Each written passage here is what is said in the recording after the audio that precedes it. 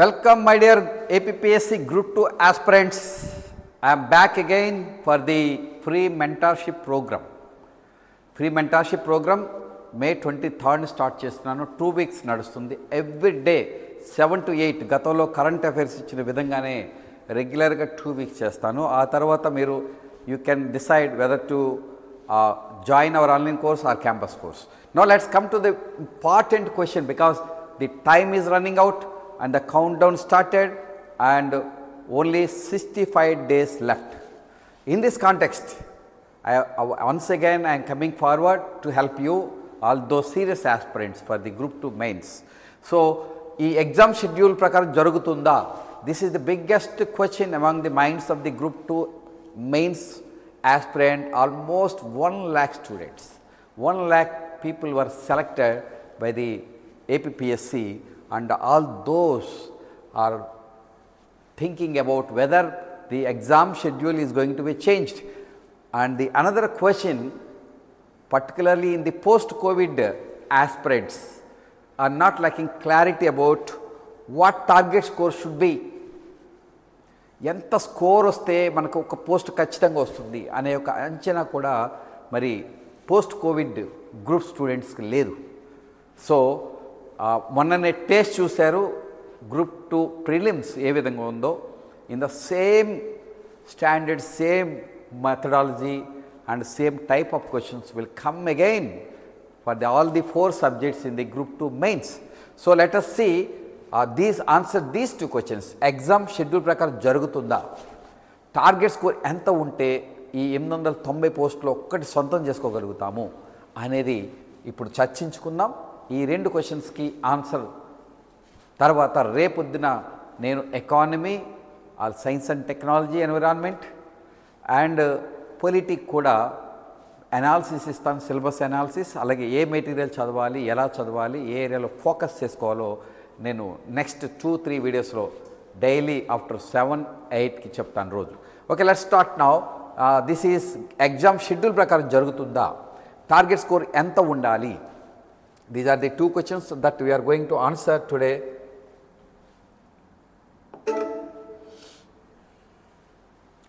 yeah first question is ఎంత target పెట్టుకొని prepare అవ్వాలి? ఎంత స్కోర్ సాధిస్తే ఖచ్చితంగా ఒక గ్రూప్ టూ ఎందుకంటే గ్రూప్ టూ అనేది ఒక డ్రీమ్ ఆ డ్రీమ్ పోస్ట్ను సాధించవచ్చు అనే విషయాల్ని అనాలిసిస్ ద్వారా ప్రీవియస్ ఎక్స్పీరియన్సెస్ ద్వారా ఇప్పుడున్న ట్రెండ్స్ బట్టి. రెండుని మిక్స్ చేసుకుంటూ ఒక అంచనా వేసుకుందాము. సి ఇది చాలామంది ప్రిలిమ్స్ ఎగ్జామ్ కాదు.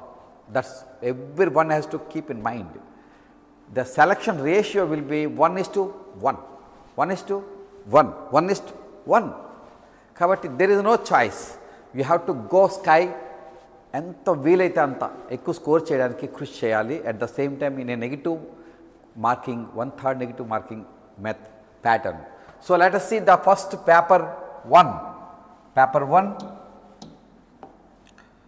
పేపర్ వన్ ఉంది ఇక్కడ మనకి. దీంట్లో మనందరికీ తెలిసిందే సెక్షన్ ఏలో social and cultural history of Andhra Pradesh. ఈరోజే మనకి హర్షవర్ధన్ రెడ్డి గారు the top faculty in the entire state as given syllabus analysis కాబట్టి మిగతా మూడు సబ్జెక్ట్స్ నేను ఇస్తాను ఆయన ఇచ్చేశారు. సార్ చూడండి ఈ వీడియోని.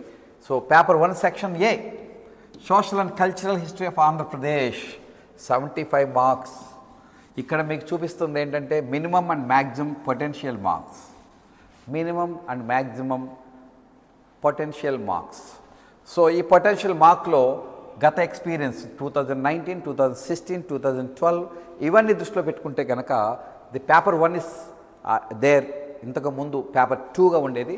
ఎందుకంటే పేపర్ వన్ జనరల్ స్టడీస్ ఉండేది. ఈసారి తీసేశారు దాన్ని. కాబట్టి ఈ పేపర్ టీలో అప్పుడు ఇదే సేమ్ నెంబర్ ఆఫ్ మార్క్స్ రెండు సబ్జెక్టులు కలిపి డెబ్బై ఐదు డెబ్బై ఐదు నూట యాభై ఉంది. అప్పుడున్న ట్రెండ్స్ ప్రకారం అంటే అంతకన్నా ఇప్పుడు ఈజీగా ఉందా టఫ్గా ఉందా అంటే ఖచ్చితంగా టఫ్గానే ఉంది. ఆ స్కోర్ని తీసుకుందామా లేదా అనేది తర్వాత వచ్చు. బట్ మనం తెలుసుకొని ఇప్పుడు ఒక అంచనాకు వద్దాం ఇప్పుడున్నటువంటి ట్రెండ్స్ని ప్రీవియస్ ట్రెండ్స్ని మిక్స్ చేసుకుంటూ ఒక అంచనాకు వద్దాం సో ఇందులో యాభై. Social and cultural history of ఆంధ్రప్రదేశ్లో మినిమం ఫిఫ్టీ చేసుకోవాలి మ్యాక్సిమం సిక్స్టీ వరకు పొటెన్షియల్ ఉంది. అంటే పేపర్ టఫ్గా వస్తే ఫిఫ్టీ మినిమం చేసుకోవాలి పోస్ట్ కొట్టాలంటే అలాగే అరవై మ్యాక్సిమం అంటే కొద్దిగా యావరేజ్ కొద్దిగా ఈజీగా ఉన్నాయి లే కొన్ని క్వశ్చన్లు అనుకుంటే కనుక అరవై చేయాల్సి ఉంటుంది. సో ప్రీవియస్లీ ఈ పేపర్ టూకి వన్ ట్వంటీ వన్ థర్టీ కూడా వచ్చిన సందర్భాలు గతంలో ఉన్నాయి. అయితే నెగిటివ్ మార్కింగ్ వచ్చిన తర్వాత ఇట్ వాస్ మన ప్రీవియస్ని రెడ్యూస్ చేసుకొని అబౌట్ వన్ ట్వంటీ అని ఇప్పుడు అనుకోవచ్చు. సో అందుకని ఇది యాభై నుంచి అరవై. టఫ్ పేపర్కి యాభై మినిమం వచ్చేలా చూసుకోవాలి. అదే కొద్దిగా mixed paper. Tough plus average questions ఉన్న పేపర్కి మనకి సిక్స్టీ అనే అంచనాతో ఎగ్జామ్ ప్రిపరేషన్ అవ్వాలి. అలాగే ఎగ్జామ్ హాల్లో కూడా ఆ విధంగా రైట్ చేయడానికి ట్రై చేయాలి. అంటే మీరు ఎన్ని అటెంప్ట్ చేయాలి సార్? నెగిటివ్ మార్కింగ్లో కొన్ని వదిలేయటం అలవాటు చేసుకున్నారు. అసలు వదలాల్సిన అవసరం పెద్దగా లేదు. ఆ లాజిక్ తెలియక ఒక భయంతో వదిలేస్తున్నారు. అలాగే ప్రిపరేషన్ మెథడాలజీని కూడా నెగిటివ్ మార్కింగ్ మెథడాలజీకి తీసుకురావట్లేదు. నెగిటివ్ మార్కింగ్ మెథడ్ని మీరు ఆఫ్ అధిగమించాలంటే ఆ మెథడాలజీలోకి వెళ్ళాలి. The way we study should be totally different. ఉండాలి. కానీ ఇప్పుడు వెనక్కి వెళ్ళిపోతున్నారు ఎదరికి రావట్లేదు. అదేదో సినిమాల్లో మన బ్రహ్మానందంగా చెప్తారు మేము ఎక్కడికో తీసుకెళ్దాం అనుకుంటే ఎవరు రావట్లేదు అక్కడికి. అక్కడే ఉండిపోతున్నారు. ఇంకా వెనక్కి వెళ్ళిపోతున్నారు నెగిటివ్ మార్కింగ్ ఉన్నా వీ కెన్ డూ డైరెక్ట్ ఖచ్చితంగా డ- అరవై ఐదు డెబ్బై క్వశ్చన్లు అటెంప్ట్ చేయొచ్చు. భయం లేకుండా ఎందుకంటే one third is minus for every ఒక రైట్ చేస్తే నీకు మూడు తప్పులు చేసుకునే అధికారం వచ్చినట్టు. అయినా కూడా భయంతో ఆ మెథడాలజీలోని ఇంకా లోపభూయిష్టంగానే పిల్లలు వెళ్తూ ఉన్నారు except maybe few the last cream people తప్ప. అందరూ కూడా ఈ ఆన్లైన్ కోచింగ్ వల్ల ఆ స్కోర్ సాధించలేరు ఇంపాసిబుల్ హ్యూమన్స్ కెపాసిటీ లేదు. ఆన్లైన్ కోచింగ్లో ఎక్కువ డ్యూరేషన్ గడిపే శక్తి సామర్థ్యాలు ఎవరికి ఉండవు. సో అందుచేత ఆ ప్రాక్టికల్ ప్రాబ్లమ్స్ చేత మేము చెప్తుంది ఏంటంటే ఇక్కడ ఖచ్చితంగా యాభై నుంచి అరవై చేయగలిగే పొటెన్షియల్ ఉంది. ఎవరైతే టాప్లో ఉంటారో వాళ్ళు ఖచ్చితంగా చేయగలుగుతారు. ఎవరైతే ఇప్పుడు ప్రిపరేషన్ మెథడాలజీని మార్చుకుంటారో ఆన్లైన్ కాకుండా బుక్ మీద ఆధారపడుతూ ఎవరైతే నెగిటివ్ మార్కింగ్లో కావాల్సింది concept clarity strong on the fundamentals basic అంశాల్లో ఇచ్చిన సిలబస్లో అన్ని బేసిక్ అంశాల్లో పక్కా క్లారిటీ ఉండాలి. ఆ విధంగా ఉన్న వాళ్ళు ఖచ్చితంగా నెగిటివ్ మార్కింగ్లో కూడా హై స్కోర్స్ ఈజీగా చేయగలుగుతారు. అలాగే బాగా ప్రాక్టీస్ చేయాలి. నెగిటివ్ మార్కింగ్ని ఆఫ్సెట్ చేయాలి అధిగమించాలంటే బాగా మార్క్ చేయాలి. రిపిటేషన్ ప్రాక్టీస్ బాగా చేయాలి. ముఖ్యంగా బేసిక్స్లో అస్సలు డౌటే ఉండకూడదు. నిద్రలో లేపినా తక్కువ అని చెప్పాలి.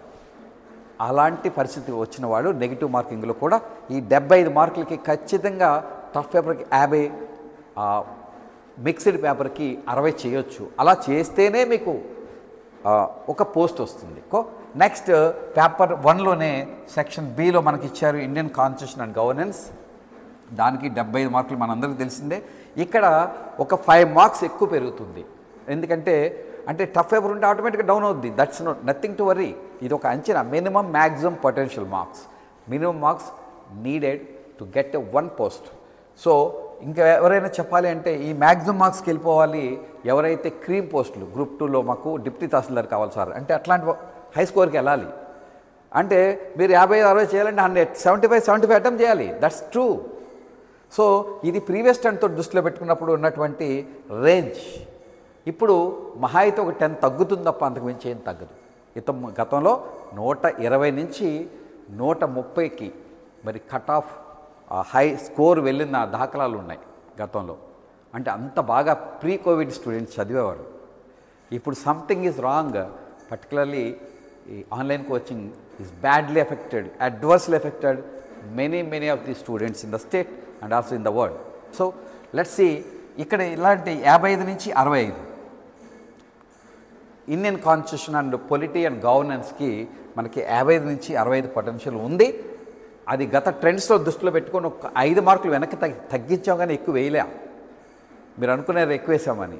మీరు ప్రీవియస్ కట్ ఆఫ్ చూడండి ప్రీవియస్ వచ్చిన మార్కులు చూడండి స్టూడెంట్స్వి సెలెక్ట్ అయిన వాళ్ళు. కట్ ఆఫ్తో పని లేదు కట్ ఆఫ్ వస్తే మంచి పోస్ట్ రాదు కదా. టాప్ మార్కులు.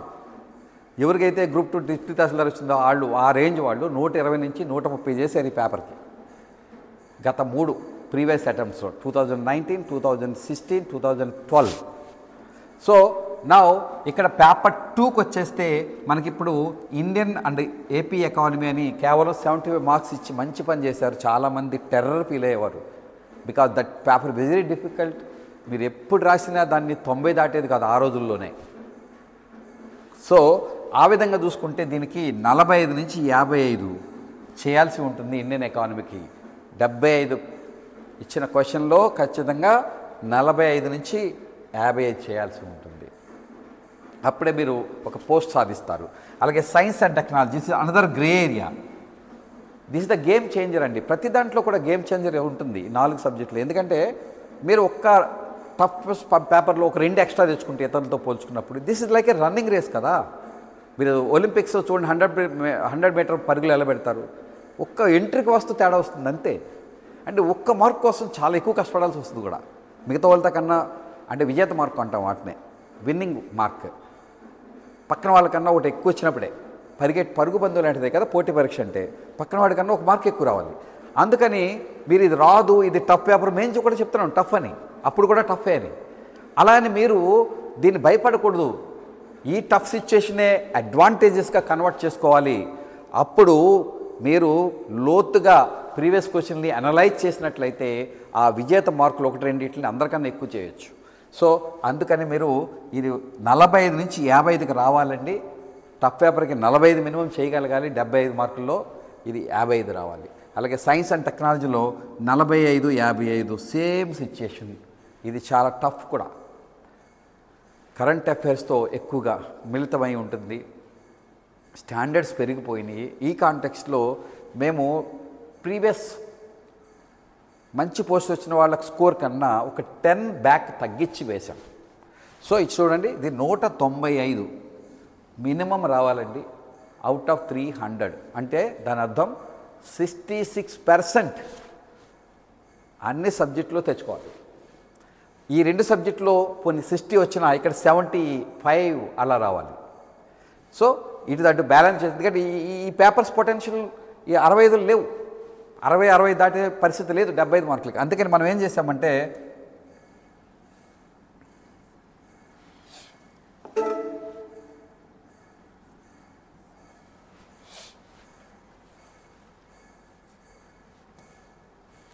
సో మనం ఏం చేసామంటే టోటల్గా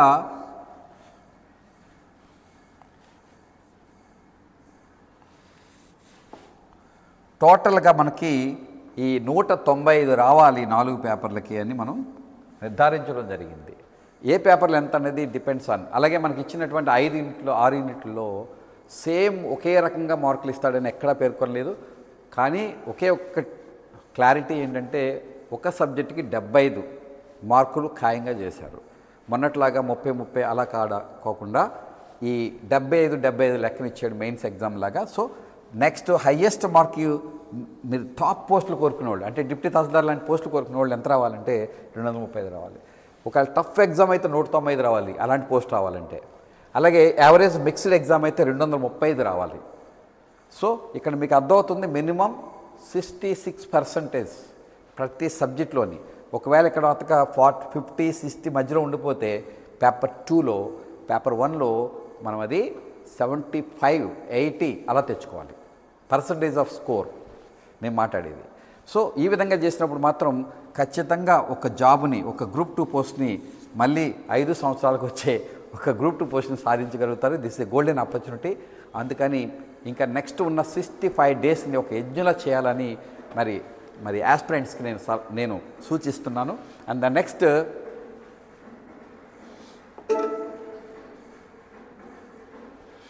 selection race మర్చిపోవద్దు. టార్గెట్ స్కోర్ ఎంత ఉండాలన్నప్పుడు two two thirty five.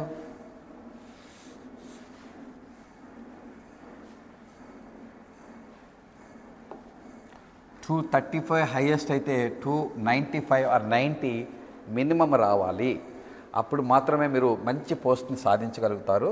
And then next next important question మనకి మర్చిపోవద్దండి. ఇది one is to one ratio అండి. ఎట్టి పరిస్థితులు మర్చిపోకండి. దయచేసి ఆ ప్రిలిమ్స్ మైండ్ సెట్ వదిలేయండి మెయిన్స్ మైండ్ సెట్ మెయిన్స్.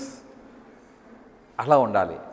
ఎక్కడ తగ్గకూడదు. ఎంత హయ్యెస్ట్ తెచ్చుకోగలిగితే అంత హయ్యెస్ట్ సో అన్నిటికీ ఒకటే సిద్ధాంతం అండి. బేసిక్స్ మీద స్ట్రాంగ్గా ఉండాలి. క్లారిటీ ఉండాలి. ప్రాక్టీస్ బాగా చేయాలి. బుక్కుల్లోనే చదవాలి. యాప్ల్లో యూడియోలో దట్ నాట్ ఎఫెక్టివ్ అండి. అలాంటి వాళ్ళు చాలా వెనకబడిపోతారు. ఎవరైతే ప్రాక్టికల్గా బుక్ మీద చదువుతారో మంచి బుక్స్ ఆల్రెడీ ఎన్ని ఉన్నాయండి మార్కెట్లో. నేను చెప్తాను. సబ్జెక్ట్ చెప్పినప్పుడు మీకు ఏ ఏ చాప్టర్కి ఏ మెటీరియల్ బుక్లో బాగుందో కూడా చెప్తాను. సో ఈ విధంగా మీరు చేయాల్సి ఉంటుంది. సో నెక్స్ట్ మనకి yeah this is a residential batch. Second fifty days బ్యాచ్ని రేపు ట్వంటీ ఎయిత్ని స్టార్ట్ అవుతుంది. అందుకని ఎవరైనా ఇప్పుడు రావాలనుకుంటే ఇక్కడ హాస్టల్ ఉంది. క్యాంపస్లోనే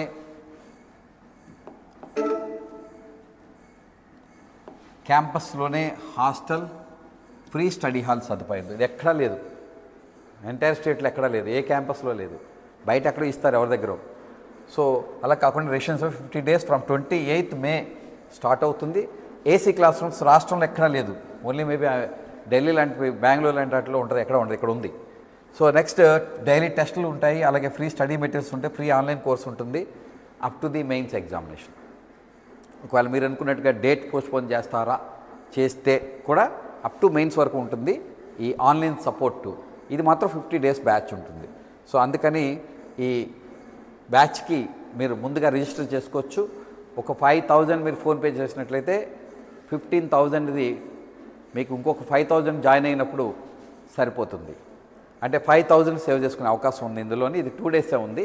చూసుకోండి. Next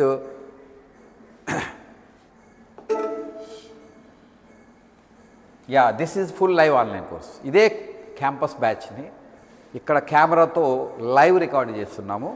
అంటే అన్ని ఫ్రెష్ రికార్డెడ్ వీడియోస్ పాత ఏమీ ఉండదు. మీరు ఏ ఆన్లైన్ తీసుకున్న అన్నీ పాతయే ఉంటాయి.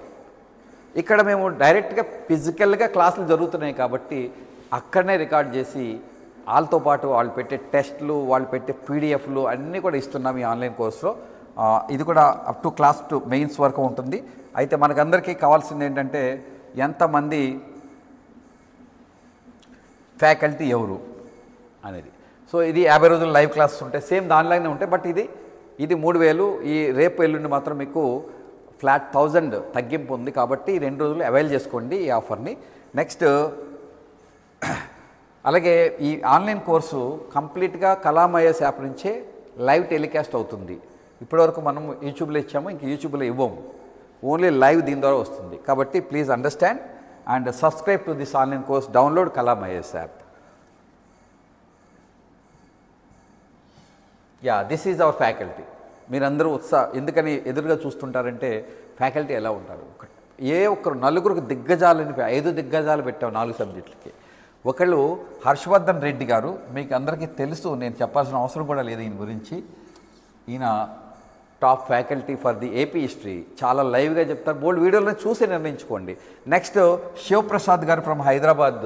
Indian economy AP economy చెప్తారు. అలాగే కృష్ణ సార్ ఫ్రమ్ హైదరాబాద్. ఆయన కూడా మనకి టాప్ ఫ్యాకల్టీ ఫర్ పొలిటీ. మీకు డెబ్బై ఐదు అరవై ఐదు వచ్చేలా చేయగల కెపాసిటీ ఉన్నటువంటి ఫ్యాకల్టీ అయినా అలాగే ప్రసాద్ గారు హైదరాబాద్ ఈయన సైన్స్ అండ్ టెక్నాలజీలో జాగ్రఫీ ఎన్విరాన్మెంట్ చెప్తారు. చాలా లోతుగా చెప్తారు. ఇప్పుడున్న స్టాండర్డ్ మాదిరి చెప్తారు.